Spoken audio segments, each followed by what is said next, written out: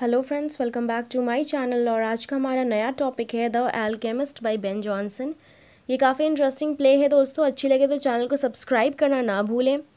तो इसकी शुरुआत में ये है कि मेटल को कैसे सोने में बदला जाए, ठीक है? तो अब के समय में अगर ये कोई बोलेगा तो लोग तो मज़ाक ही उड़ाएँगे क्योंकि इसको कोई सीरियसली लेगा नहीं। तो मैं आपको बताती हूँ कि ये उस समय की बात है जब लंदन में प्लेग फैला हुआ था और अमीर घर का एक लड़का था जिसका नाम है लव विथ उसका बड़ा सा बंगला था, उसके घर पे एक नौकर था जिसका नाम है जर्मी। वो प्लेग के समय लव विथ अपना घर छोड़कर चला जाता है और अपने घर का चाबी जर्मी को देकर जाता है। और जर्मी पे भरोसा करके गया, लेकिन वो भरोसे के काबिल तो है नहीं। और वो अपने घर पे जो मालिक चाबी देकर गया, वो घर पे लोगों को बुला कर रखता था। लोगों को बेवकूफ़ कैसे बनाया जाए, फ्रॉड में कैसे फंसाया जाए, कि पैसा कैसे लूटा जाए, कोई जर्मी से सीखे। तो ये अपने घर पे दो लोगों को बुला कर रखता था, उसका नाम है सप्टल और एक डॉल। दोनों बेवकूफ़ है सप्टल तो सिर्फ़ घूसखोर है और डॉल वो सेक्सुअल लड़की प्रोस्टिट्यूट है, ठीक है? तो इन लोग दोनों को बुला कर रखता था और सिर्फ़ मज़े ही मज़े होते थे इनके तो। किसी वजह से सप्टल और जमी में लड़ाई होने लगी तो डॉल उसको रुकवाती है और कहती है कि जो भी ये बंद करेगा लड़ना, मैं उसके उसे खुश करूँगी। और खुश कैसे करेगी? तो वो सेक्स करके खुश करेगी, ठीक है? अब इनके पास नए नए मूल्य आना शुरू हो जाते हैं। मूल्य मतलब कि बेवकूफ़, ठीक है? तो पहला जो है वो है डैपर आता है।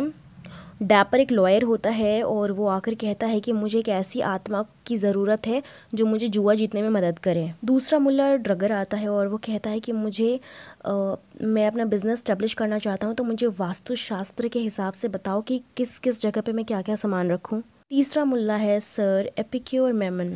ये आए हैं अपने चेले के साथ श्योरली नाम है उसका और ये आकर कहते हैं कि मुझे एक ऐसा जादुई स्टोन दो और उस स्टोन को अगर मैं मेटल को टच करूँ तो वो सोना बन जाए।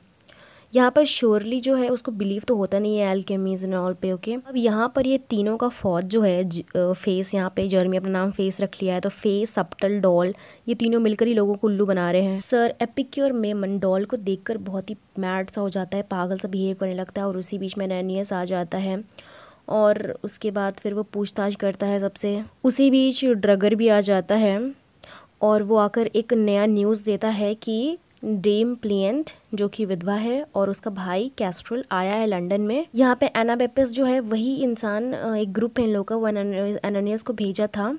तो सर एपिक्योर मेमन का कुछ सामान था, जो वो सप्टल को देकर गए थे। अब सप्टल, वो सारा सामान एनाबेपिस्ट को बेच देता है। उसके बाद ड्रगर कैस्ट्रल को लेकर आता है, और वो अपनी बहन को भी लेकर आता है। अब यहाँ पर जर्मी और सप्टल उसकी बहन, विधवा बहन, डेम प्लियंट को देखकर बिल्कुल पागल सा बिहेव करने लगते हैं। मतलब यू नो मतलब वो दोनों बिल्कुल उसके प्यार में पागल हो जाते हैं। और कहीं ना कहीं श्योरली श्योरली जो है उसको ऐसा ऐसा शंका हो रहा था कि ये लोग उल्लू बना रहे हैं, सबको ऐसा कुछ भी नहीं है। उसके बाद सर एप्पी के और मेमन आते हैं अपना सामान लेने के लिए और सब कहते हैं कि आपको सामान नहीं मिलेगा क्योंकि आपके अंदर खुद एक लस्ट भरा हुआ है। आप डॉल को देख ऐसे ऐसे बिहेव करते हो, इसलिए आपको कुछ भी नहीं मिलेगा, आप यहाँ से जाओ। वो बहुत ही सैड हो जाते हैं और उनका जो चेला श्योरली रहता है, वो बोलता है कि अब तो इन्हें मज़ा चखा कर रहूँगा तो वो भेज बदल कर आता है अपना।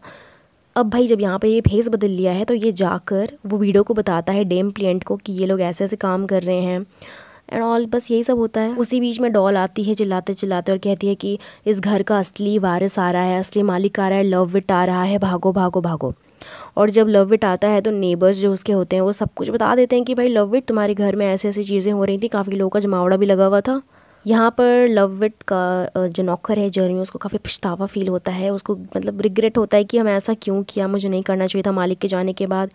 वो काफ़ी माफ़ी भी माँगता है और जर्मी को जर्मी जो है लव विट को बोलता है अपने मालिक को कि मैं आपको आश्वासन देता हूँ कि मैं आपकी शादी वीडियो डेम प्लेंट से करवा दूँगा। दोस्तों, लव विट वैसे भी अमीर इंसान है और इसका दिल भी वैसे भी बहुत बड़ा है। ये माफ़ कर देता है सबको और ये मैटर भी सब कुछ सॉल्व कर देता है।